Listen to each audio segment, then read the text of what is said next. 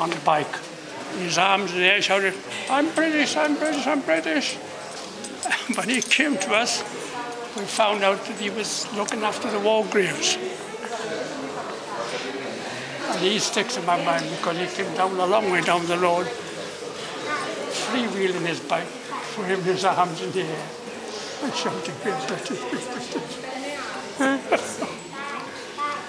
and another, you know, other people I've met, you know, um, being in the forward lines at all times.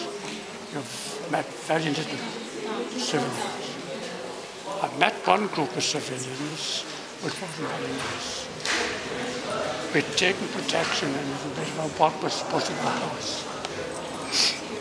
And we heard a noise in, underneath us, knowing full well that the Germans always head down passage. We found the cellar trap door and normally what you do lift the floor up and throw in a grenade. Lifted the trap door up and as we lift up, six young children came up the trap door.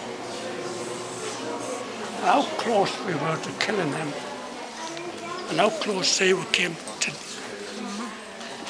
and all we could do was kill these try and give them back and take them back to safe, what we thought was safe.